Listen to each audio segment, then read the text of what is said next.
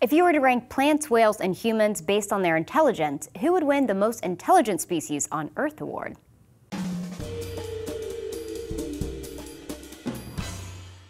One of the biggest questions humans have ever asked is Are we alone in the universe? There's a field of science dedicated to this question known as the Search for Extraterrestrial Intelligence, or SETI.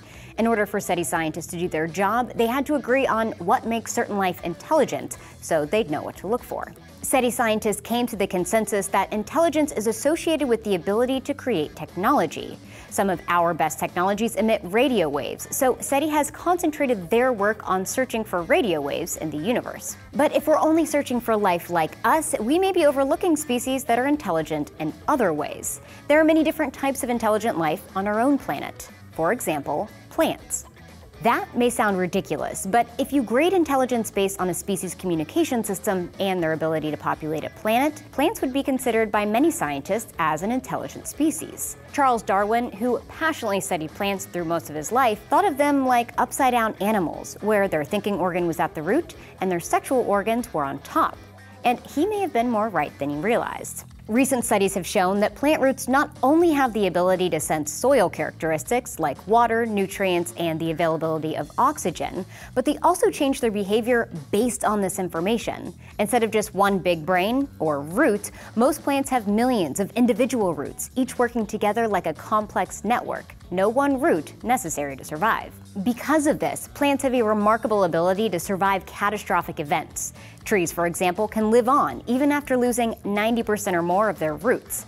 With this unique ability, it's no wonder why plants dominate animals on land with more than 1,000 times the amount of biomass. So, if world domination was a numbers game, plants would beat animals a thousand to one. But animals eat plants, so maybe there's more to intelligence. Like brains, right?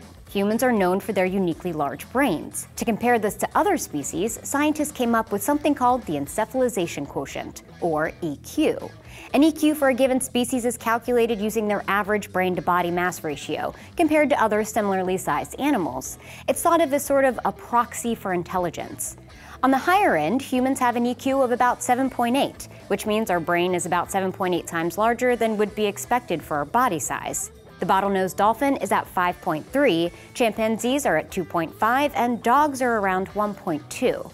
And what about whales? Whales are considered to be reasonably intelligent, and certain species, like the sperm whale, have the heaviest brains in the animal kingdom. But interestingly, the sperm whale has a measly EQ of 0.58.